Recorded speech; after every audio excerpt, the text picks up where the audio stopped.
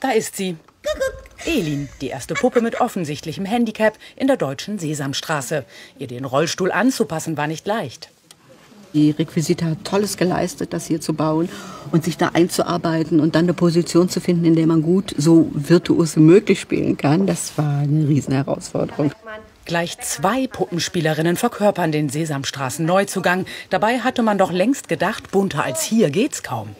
Du sprichst mit mir. Ja, ich sprich mit dir. Das ist schön.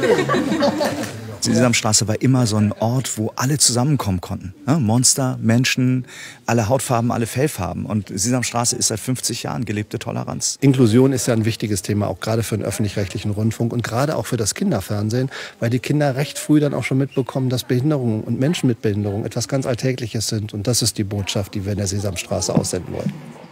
Ihren ersten Drehtag hat die Kleine auch schon hinter sich gebracht, wie eine ganz große. Für Elin genauso aufregend wie für uns.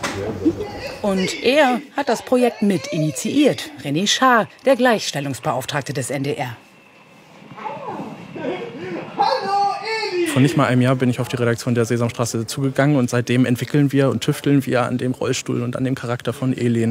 Und beim Rollstuhl zum Beispiel haben wir die Rückenlehne eingekürzt und auch die Sitzfläche eingekürzt, einfach damit es authentischer ist und haben auch den Umfang des Reifens noch verändert, damit sie einfach besser an den Reifen rankommt. Die kleine Eli. Hallo. Hallo, Eli. Ein kleiner Motor bewegt die Räder von Elins echtem Kinderrollstuhl. Damit der sportlich aussieht, nicht nach Krankenhaus, brauchte es Tüftelei. Tüfteln muss auch Krümelmonster. Beim Quiz soll er einen Gegenstand erraten und kriegt dafür Tipps von Elin. Also, meinen Gegenstand kann man ganz lange benutzen. Fast rührt sich hier schon leichter Vaterstolz. Sich selbst repräsentiert zu sehen in der Sesamstraße ist so schön. Ich hatte gerade richtig Pipi in den Augen. So, der erste Drehtag ist geschafft. Jetzt geht's zur Pause wieder zu den Freunden. Im Fernsehen ist Elin dann ab Herbst zu sehen.